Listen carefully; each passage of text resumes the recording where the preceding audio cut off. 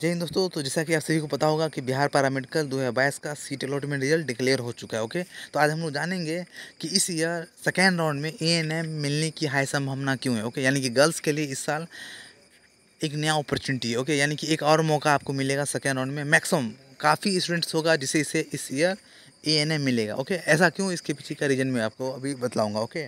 तो आगे बढ़ने से पहले आपको करना क्या है? चैनल सब्सक्राइब करना है बेल आइकन हिट करना है। कोई भी क्वेरी हो, आप क्या कर सकते हो? टेलीग्राम पे पूछ सकते हो ओके टेलीग्राम का नाम क्या है? Our roots champion stalk okay तो देखो, इस ईयर हुआ क्या है ना? पिछले ईयर जो रिज़ल्ट हुआ था ओके उसमें जो भी स्टूडेंट्स ए मिला था नाइन्टी नाइन परसेंट स्टूडेंट क्या किया है? फिर से फॉर्म फिल किया है। क्यों? जी एन एम के लिए। क्या समझ रही हो आप? ठीक है? तो जी एन एम के लिए किया गया था, लेकिन जी बहुत कम स्टूडेंट्स को इस ईयर जी मिला है। ये हुआ है कि लास्ट ईयर जो मतलब टॉपर थी, जिन्हें जी मिलना था, लेकिन फॉर्म फिल अप गलती करने की वजह से, यानी चॉइस फिल करने गलती करने की वजह से उन्हें ए मिला।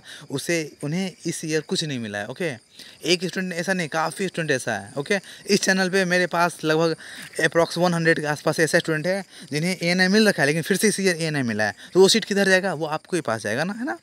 ठीक है, ये हो गया फ़र्स्ट सेकेंड क्या चांस है? सेकेंड ये चांस है कि जो students already A N M कर रखा है, वो जी एन एम करना चाहती है, वो भी फॉर्म फिल किया है, उन्हें भी इस साल क्या है, बहुत कम को ही जी एन अलॉट हुआ है। ओके तो वो सीट भी बचा, वो सीट भी आपको मिलेगा।